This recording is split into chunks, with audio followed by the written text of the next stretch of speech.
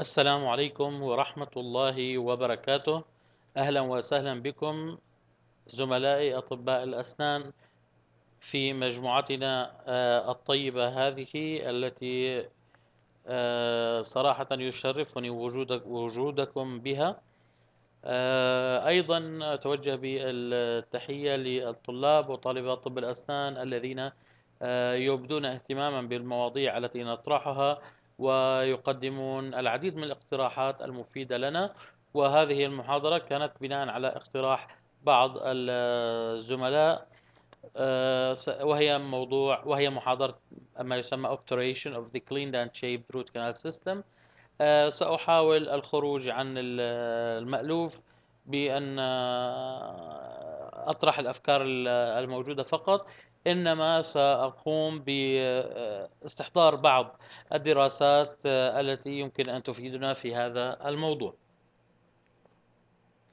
أولا وحسب المعلومات السابقة أو الأفكار السابقة كان كان السؤال عندما أو كان الجواب على السؤال ما هي العوامل التي يمكن أن تؤثر على نجاح المعالجة القنوية؟ ما هي العوامل التي تؤثر على نجاح على التي تؤدي إلى الحصول على ما يسمى uh, successful root canal treatment طبعا الجواب كان uh, حسب الطريقة التقليدية هي ما يسمى debridement تنظيف ال canal thorough disinfection تعقيم أو تطهير الكنال من خلال ما يسمى ال irrigants من خلال ما يسمى ال intracanal medicaments وفي النقطة أو في الفقرة الثالثة آه، الفائد الجزء الذي يؤثر هو آه، إنجاز عملية حشو الأقنية الجذرية بشكل جيد. يمكن أن نضيف طبعا هذا الذي ذكرته موجود هنا كما نشاهد تحت البند أو النقطة رقم ثلاثة. الآن يمكن أن نضيف ما يسمى آه، diagnosis and treatment planning تشخيص الحالة بشكل دقيق جدا مهم وبالتالي عندما تشخص بشكل دقيق آه، ستقوم بإجراء أو وضع خطة علاج. غالبا تتناسب مع تشخيصك وغالبا ستكون دقيقة طالما الدايجنوسز دقيق. النقطة الثانية هي knowledge of anatomy and morphology مدى معرفة الطبيب بتشريح الأقنية الجذرية. النقطة الثالثة هنا هي the coronal restoration ما هي أهمية الترميم التاجي الذي آه، نضعه آه، داخل آه، السن أو فوق السن في مرحلة ما بعد انتهاء العلاج القنوي. ثم three dimensional imaging of the healing of teeth with pre-existing periapical pathosis كل ما يتعلق ب الشفاء الذي يجب أن يكون لدينا تصور عنه ثلاثي الأبعاد.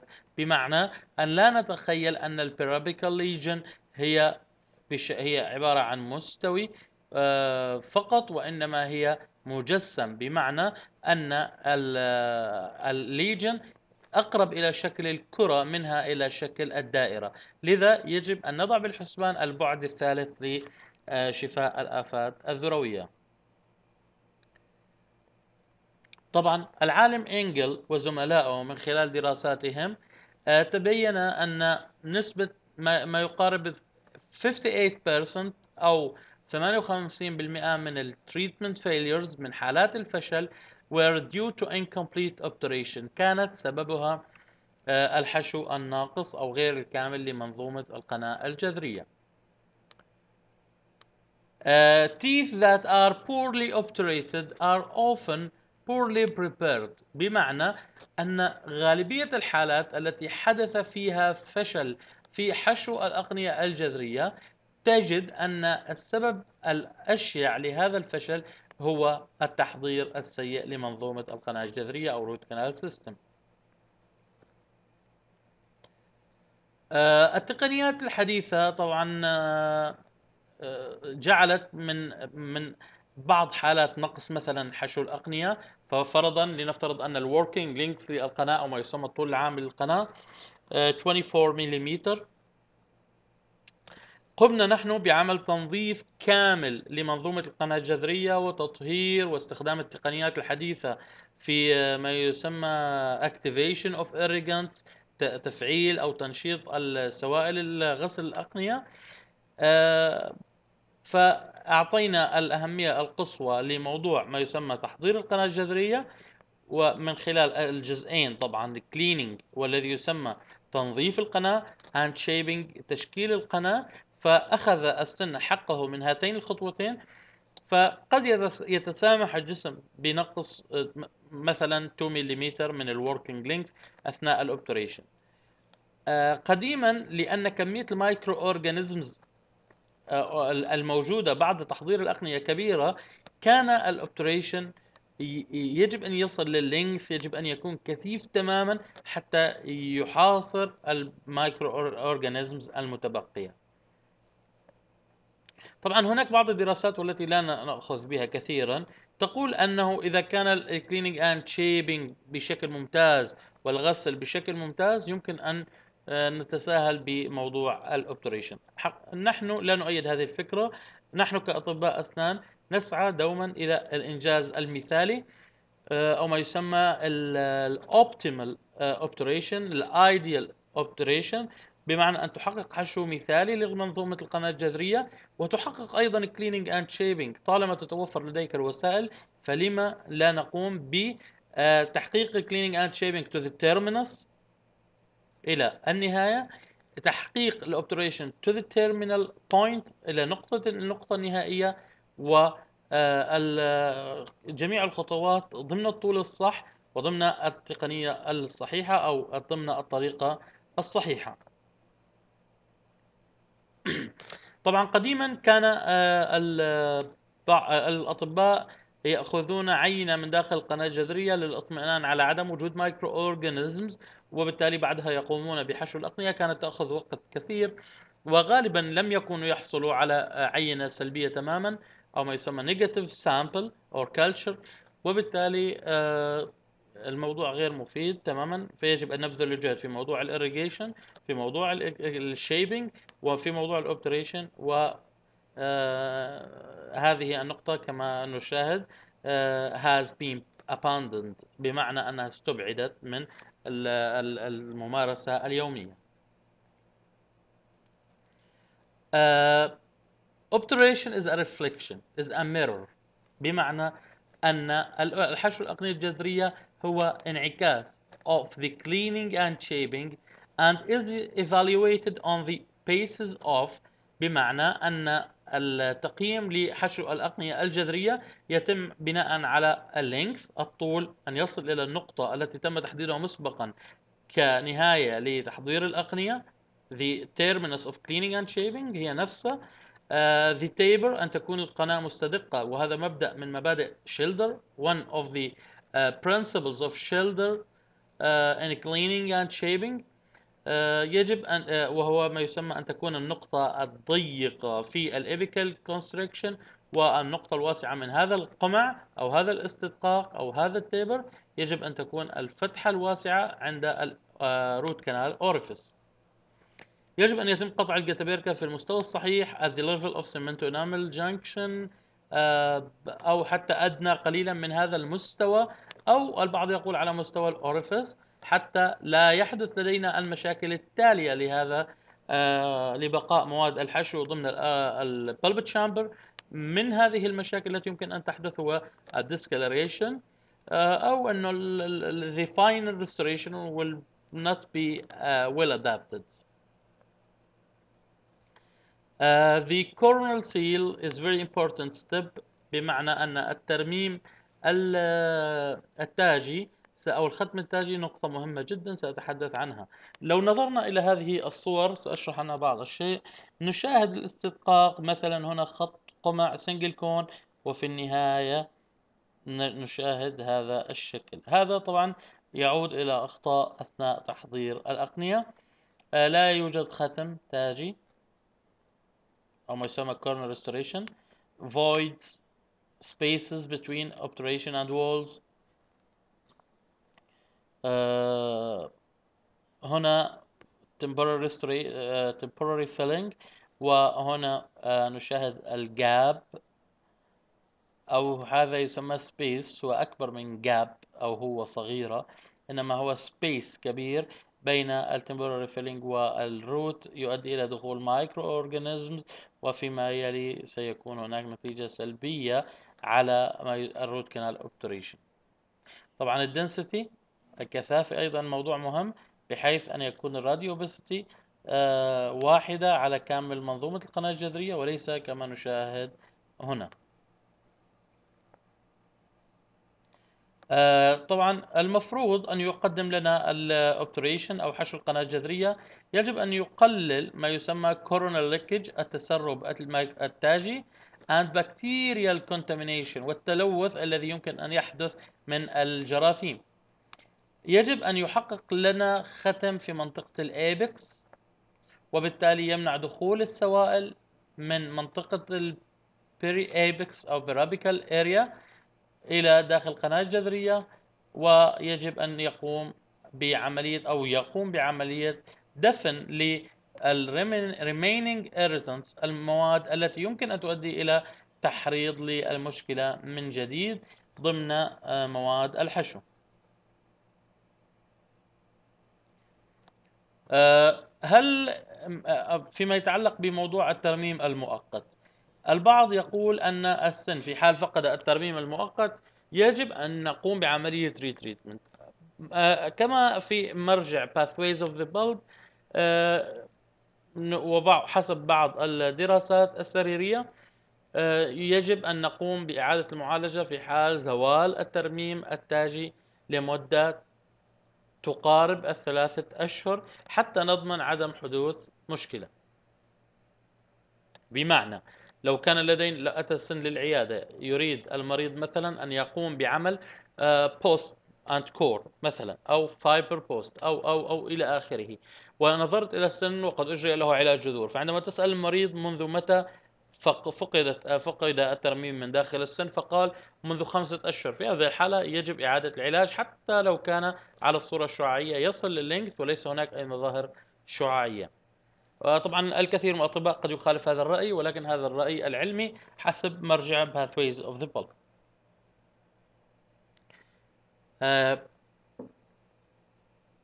طبعا الدراسات آه، بعضها بعض الدراسات السريرية تركز أو أكدت على أهمية ال coronal restoration أو coronal seal الختم التاجي بمعنى الإغلاق التام لل pulp chamber بعد إنهاء العلاج. حتى لو كان هناك poor obturation بمعنى أن حشو الأقنية لم يكن مثاليا فيمكن أن نحصل على ما يسمى favorable treatment outcome أي أن نحصل على الجدوى من المعالجة أو الجدوى المفضلة من المعالجة أي نصل لنتيجة مقنعة. حتى لو كان لدينا poor root canal obturation ولكن بمجرد وجود high quality of coronal seal أي وجود نوعية عالية من ختم حفرة المدخل أو ما يسمى ال access cavity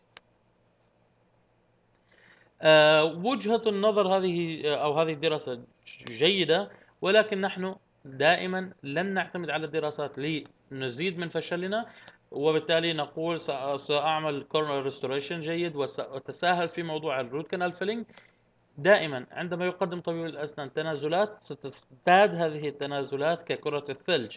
ففي هذه المرة سيقول لن أهتم آه، تماما بال obturation في المرة الثانية يمكن أن نصل لمرحلة أن يكون الأوبتريشن إلى نصف الكنل. وفيما بعد آه، قد يكون هناك مشاكل أخرى. وللأسف العديد من الحالات التي تطرح سواء في مجموعة طب الأسنان مباشر أو في المنتديات أو أو أو إلى آخره تشاهد فعلا هناك بعض المشاكل الكبيرة التي كان يمكن تجاوزها لو أن الطبيب أعطى بعض الوقت لهذا العلاج. آه، طبعا هناك دراسة recent systematic review and meta-analysis of the result uh, derived from nine similar studies. هذه ال systematic review and meta-analysis أخذت نتائجها من آه، تسع دراسات آه، كل هذه الدراسات آه، تقول poor quality root canal treatment poor quality corneal restoration بمعنى أن الحشو الأقنية السيء أو أو ذو النوعية السيئة والكورنر ريستوريشن. ذو النوعية السيئة لهم نفس التأثير على آه، ما يسمى healing of apical periodontitis. بمعنى أن نتيجة أو أو شفاء الآفات الذروية يتأثر عكسيا ب سواء كان لدينا root canal treatment سيء poor root canal treatment أو كان لدينا poor quality of coronal restoration. وهذا هذه الدراسة حديثة recent. إذا يجب أن نستفيد من هذه الدراسة الحديثة جدا.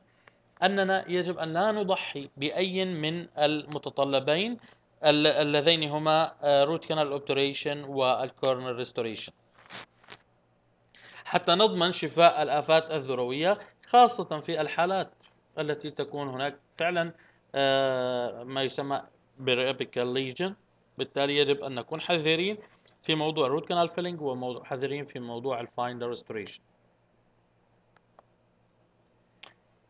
آه سؤال الآن هل سأضع ترميم مؤقت أم هل سأضع ترميم دائم after root canal treatment حقيقة لا مشكلة وفي الدراسات الحديثة لا مشكلة لا آه، في أن يكون الترميم مؤقت أو دائم في الفترة الأولى آه، بشرط أن يكون آه، ترميما مثاليا بمعنى أن يكون الترميم المؤقت يحقق ختم جيد يحول دون وصول ال microorganisms من خلال ما يسمى ال microbial contamination أو microbial أو ال micro leakage بكتيريا micro leakage التسرب الحفافي المجهري.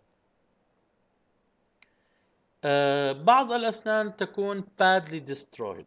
Badly destroyed. There is a large amount of missed tooth structure بمعنى أنه يوجد كمية كبيرة من النسج السنية المفقودة. في هذه الحالة يجب أن نلجأ لعمل الترميم النهائي المصبوب cast restorations.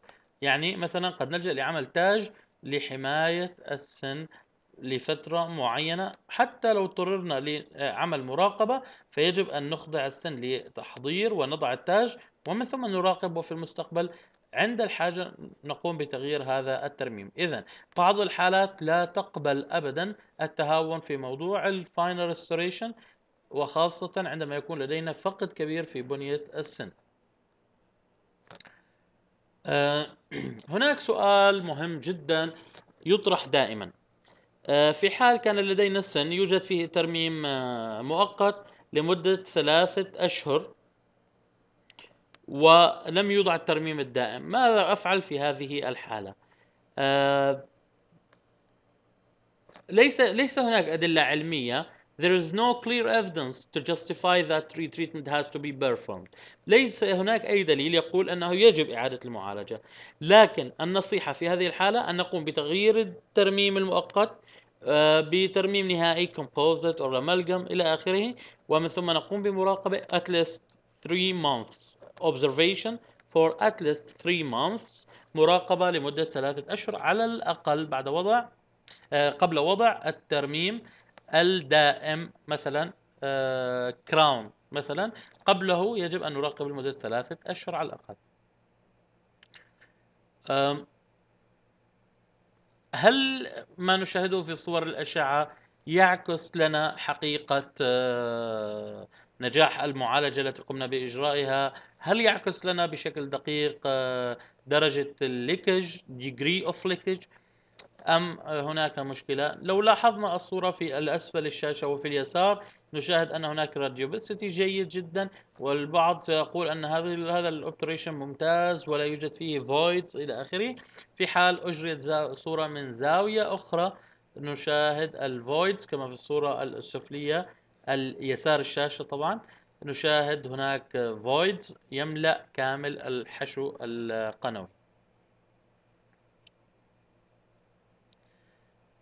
آه، بعض الأسنان آه، التي خضعت لعلاج جذور لأول مرة آه، وروقبت أو تمت مراقبتها لمدة أربع إلى ست سنوات بعد إنجاز العلاج القنوي وكانت تحتوي على periapical أو apical periodontitis هذه الحالات كان لديها معدل شفاء ما يعادل 82% بينما الحالات التي كانت تخلو من ال apical periodontitis كانت نسبة النجاح 93% إذا وجود آفة ذروية هل يمكن أن يخفض من نتيجة العلاج خاصة في الحالات التي تخضع للعلاج لأول مرة؟ نعم حسب هذه الدراسة نشاهد أن النسبة كانت 82% نسبة نجاح في حالات اللي هي ال periapical lesion أو apical periodontitis وانخفضت هذه النسبة إلى أو زادت هذه نسبة النجاح إلى 93% في حال عدم وجود هذه الشفافية الشعاعية في منطقة الذروة. ما أهمية الطول العامل أو ما يسمى working length عندما نكون أنجزنا المعالجة مثلا في هذه الدراسة كانت المعالجة تتم وفق الطول الصحيح كانت نسبة نجاح 87% قورنت هذه النتيجة مع بعض الحالات التي تم حشوها بشكل أقل من المثالي فانخفضت نسبة إلى 77% إذا جودة الحشو عملية مهمة جدا وفق هذه الدراسات الآن بعض الدراسات أجرت مقارنة بين ال vertical compaction عندما نقوم بتحضير الأقنية بشكل flared يمكن أيضا نعني بذلك مثلا استخدام ال rotary أو استخدام تقنية crown down و آه، مع ال step back technique وال lateral compaction كانت نسبة النجاح مع ال vertical compaction 90% بينما انخفضت نسبة النجاح إلى 80% في حال استخدام ال lateral compaction أو ما يسمى lateral condensation technique.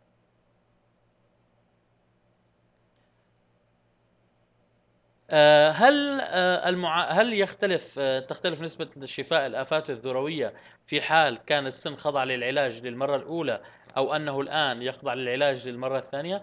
نعم، ففي دراسة حديثة تبين أن نسبة الشفاء بعد المعالجة الأولى 83% بينما نسبة الشفاء بعد المعالجة الثانية كان 80% طبعا هذا يعني أنهم متقاربتين وليس هناك فرق كبير يعني statistically آه، ليس هناك فرق كبير بين 83 و 80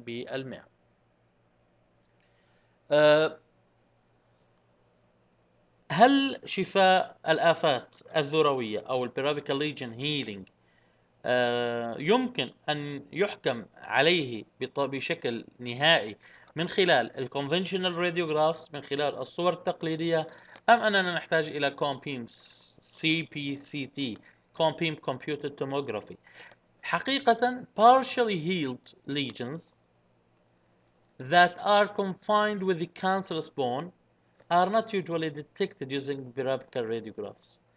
بمعنى أن بعض الحالات الآفات الذروية يحصل لها شفاء على صورة الأشعة التقليدية ولكن حقيقة الأمر يوجد آه، آه، بعض الأجزاء من هذه الآفات فيما يسمى ال cancellous ال cancellous bone أو العظم الإسفنجي. العظم الإسفنجي يوجد فيه ما يسمى بالآفات الذروية ضمن هذا العظم. إذا أهمية ال CBCT ثلاثية أبعاد ونعود إلى الذكر أن مشكلة ال two dimensional أنها ذات بعدين وبالتالي آه، وجود أجزاء الآفة داخل العظم الإسفنجي آه، آه، لا يمكن إظهارها بصورة ثنائية الأبعاد إنما تحتاج إلى صورة ثلاثية الأبعاد للحكم عليها تمام.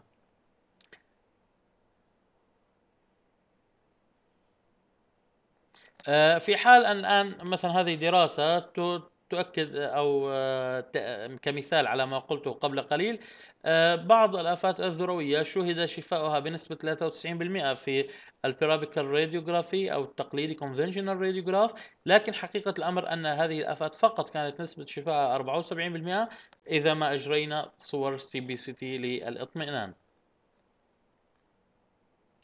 ما هو الزمن المثالي لإجراء حشو الأقنية؟ الكثير يقول single visit البعض يقول multiple visit البعض يقول في نفس الجلسة البعض يقول تعدد الجلسات البعض يقول عندما لا توجد أعراض إلى آخره.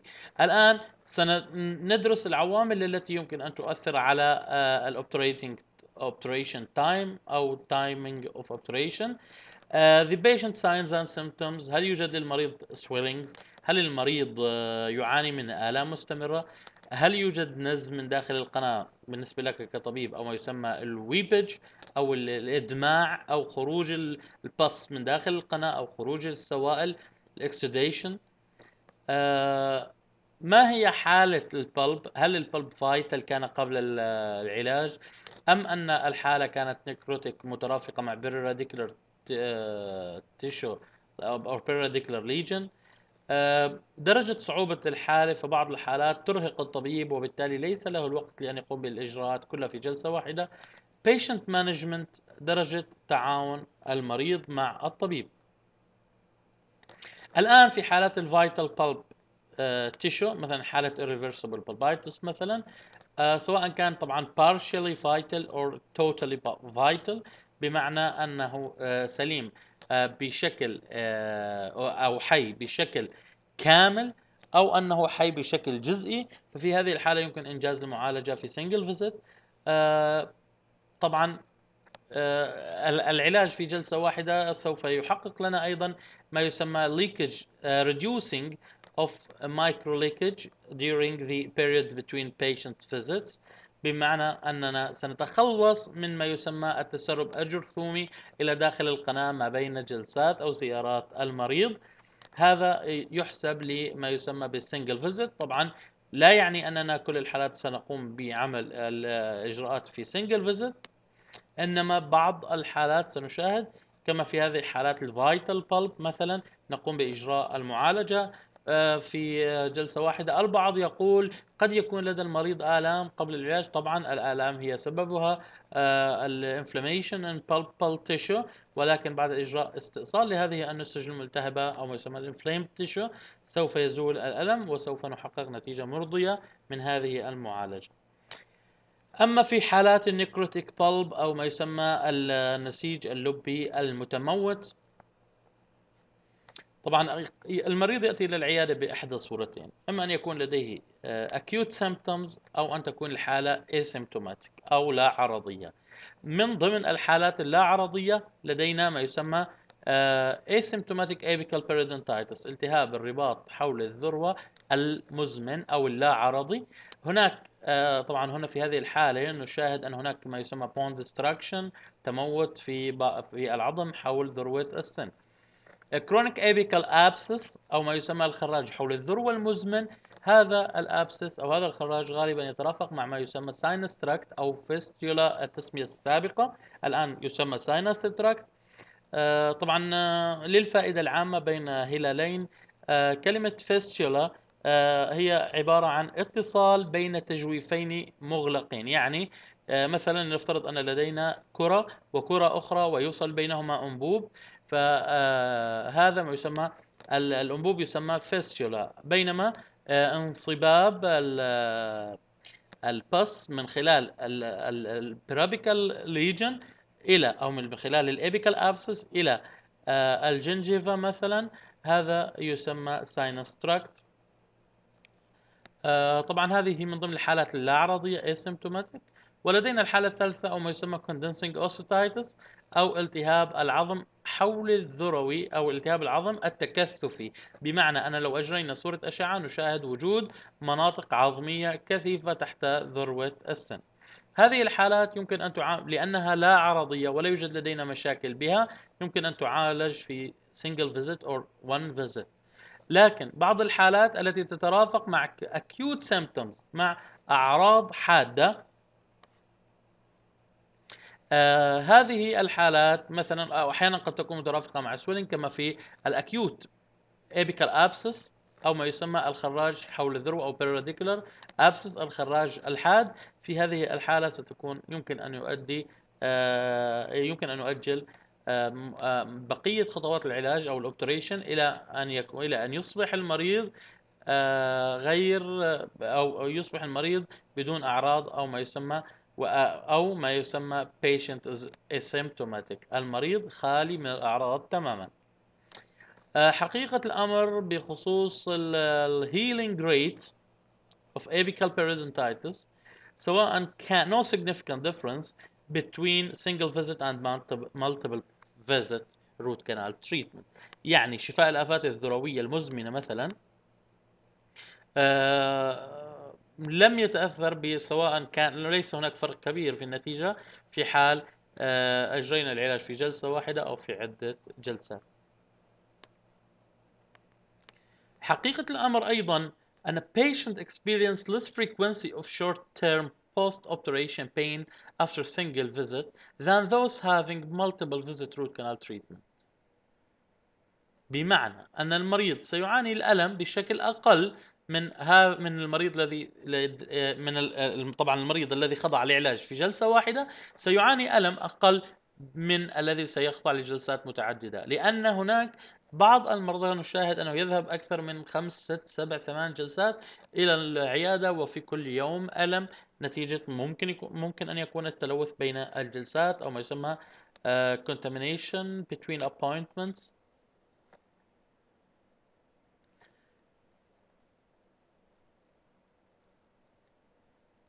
بعض الميكروبات أو البكتيريا من الصعب إزالتها من بعض المناطق الصعبة في القناة الجذرية مثل ما يسمى ال accessory canals مثل ال isthmus أو البرزخ إلى آخره.